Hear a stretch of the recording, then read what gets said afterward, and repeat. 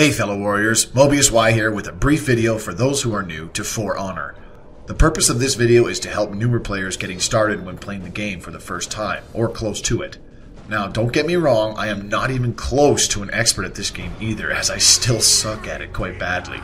However, by following my own advice in this video, I was able to learn a little more quickly how to suck a little less than normal. Hopefully for you, it will do the same.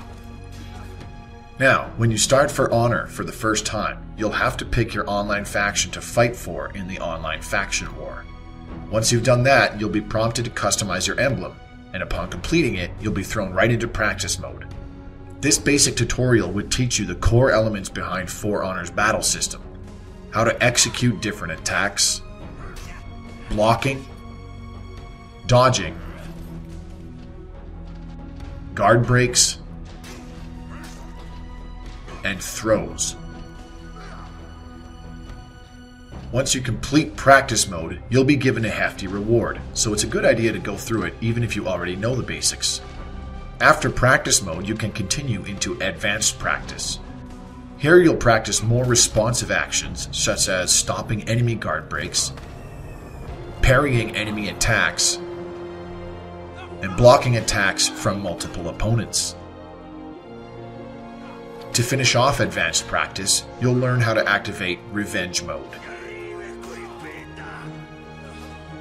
Now, upon completing advanced practice, you'll be given another decent reward of steel, which is the game's currency. You're free to save it or spend it as you will. Note that at any time during these practice sessions, you can quit out of them by pressing start and choosing quit practice. This can bypass the practice sessions altogether, even if it is your first time playing for Honor. After advanced practice, you can return to the main menu or jump into free mode practice.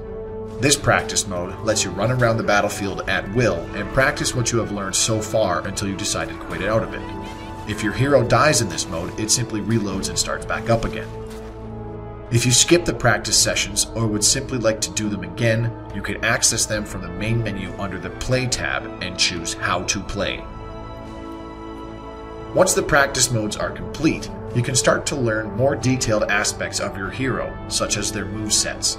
A good way to practice and learn your chosen warrior's moves is in duel practice. This mode is also under the How to Play section. Before starting a duel practice, you must choose the level of difficulty from the AI bot you will face. If you're just learning the game or simply want to test out a new hero's moves, you can set the bot level to zero. This will cause the bot to simply approach you without attacking, blocking, or performing any kinds of actions. It's a great way to practice your hero's different moves. In order to study your hero's specific skills, though, you'll have to investigate their moveset. Simply open the pause menu with Start and select Moveset. In this screen, you can see your hero's specific attacks and abilities on the right hand side, as well as the buttons to execute them. If the symbols next to the list of moves appear confusing at first, you can check the icon legend by holding left trigger if you're on Xbox. This will open a screen depicting what each symbol means next to your hero's list of abilities. After studying your hero's move set, you can spend as much time as you like testing them out on the unresponsive bot. Once you have familiarized yourself with your hero's moves, you can start another duel practice at bot level 1. This will cause the enemy AI bot to perform actions such as attacks, blocks, and guard breaks, allowing you to keep practicing your moves with a more lifelike opponent. Keep in mind that you can still increase the bot levels to 2 or 3 if you wish the AI bot to behave more skillfully. One final thing you can do to learn your new hero's abilities is view the hero fight videos. Simply open them under the How to Play section again and view both the basic and advanced videos pertaining to your hero class.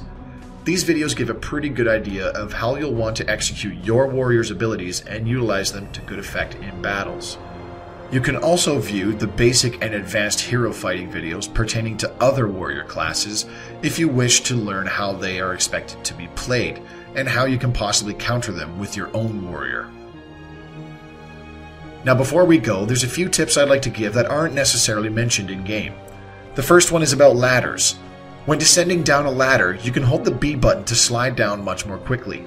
This will also knock off any enemies beneath you. On many maps, there's ledges that your character won't automatically jump down from. To jump down, you'll have to manually press the dodge button at the top of the ledge. Note that depending on the height of the ledge, this will damage your hero. You can also press the heavy attack button at the top of these ledges to execute a deadly attack while leaping down. Be aware of your surroundings and use such ledges to your advantage.